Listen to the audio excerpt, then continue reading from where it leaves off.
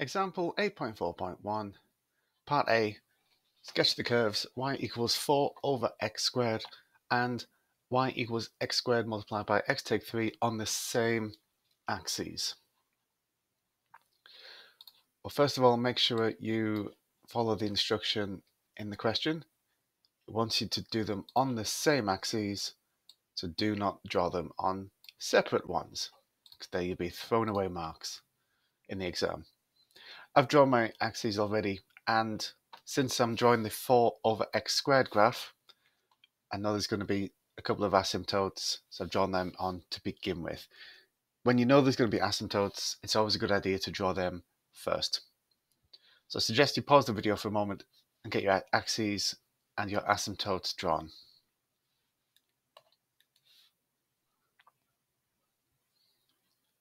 Okay, so now the two graphs. Let's do 4 over x squared first. So this is of the form something positive over x squared, positive over positive. As we saw in the previous section, 8.3, all the y values that come out of this little function are going to be positive. As x gets bigger, y gets smaller. So this is the general shape that we get. Make sure it does not across the x-axis or the y-axis and try and make it look almost as symmetrical as you can. I'm going to stick with that. That'll do. And then label your graph 4 over x squared. You should always label your graphs when you're doing two graphs on the same axes. Now the other one, if we expanded the brackets on this, we would get a cubic and the x cubed term would be positive. So think about the general shape of a positive cubic. Okay, the general shape is usually something like this. It doesn't have to have two turning points. Sometimes it'll just have a point of inflection. So it'd be one of those two shapes. Let's think about where it crosses the x axis. To do that, we need it fully factorized, and it already is fully factorized, so that's useful. So don't waste your time expanding the brackets. Because it's fully factorized, we can see it has a repeated root when x is 0. So we could write this as x times another x times x minus 3.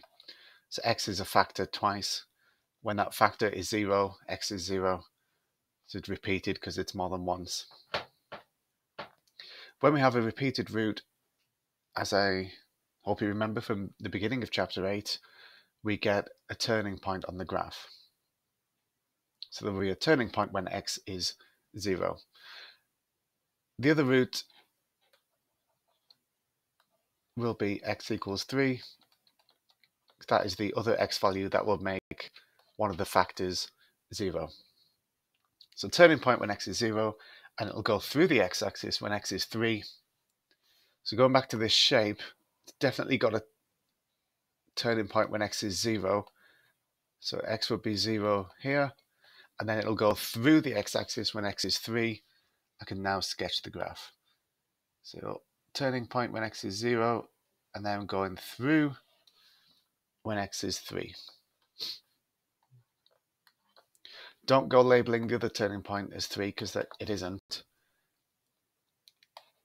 3 is where it goes through the x-axis. And remember to label your graph.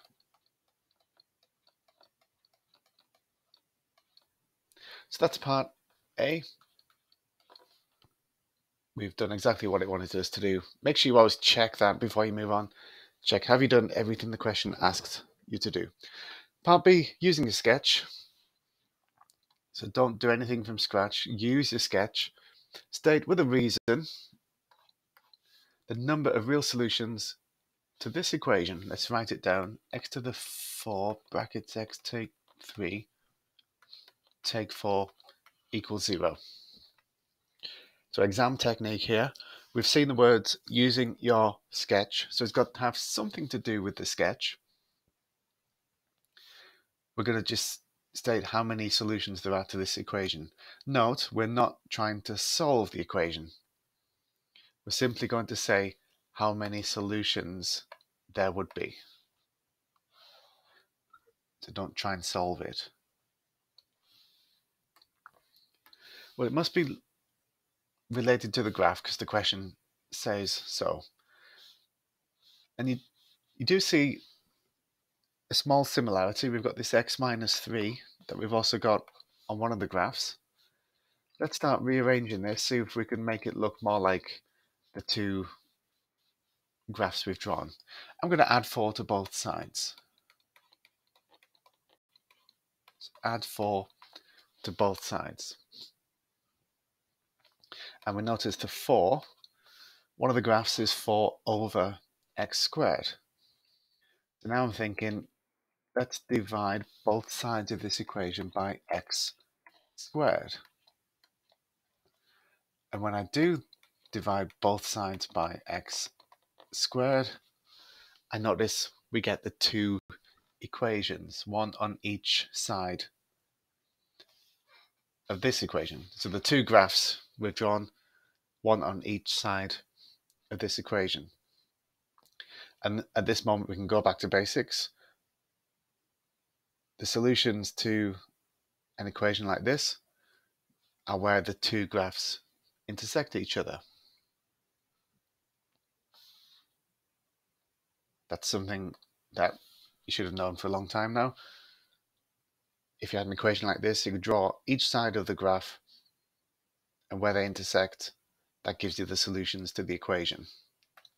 So let's answer the question now. State with a reason the number of real solutions to this equation. So there will be, let's look at the graph, how often do they intersect? Just the once. After they intersect, the cubic then goes up to infinity the asymptote heads towards the x-axis. On the other side, these two sections on the left, they're never going to meet. So there will be one real solution. Here's the reason, because the graphs intersect once.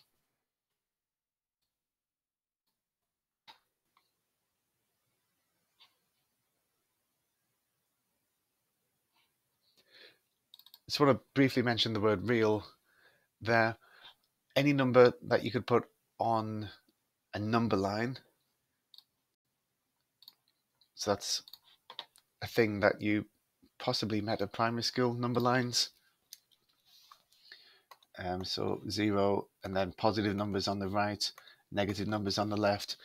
It's not just for whole numbers either, it's for all the decimals as well. So any number you could put on the number line we call a real number. You don't really need to worry about it too much. Unless you're studying further maths, then you'll only work with real numbers. So all the numbers we work with in A-level maths and the numbers you've met at GCSE and before that, they're all called real numbers. Now there are non-real numbers, but we don't study them at A-level maths. So you need to use the word where where appropriate. And in this case, if the word real hadn't been in the question, it wouldn't have really been that much different. Okay, so there we go. That is example 8.4.1.